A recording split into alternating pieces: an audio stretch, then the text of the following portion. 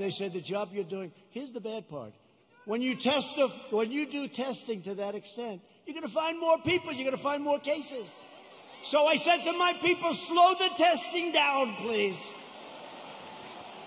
They test and they test. We got tests that people don't know what's going on. We got tests. We got another one over here.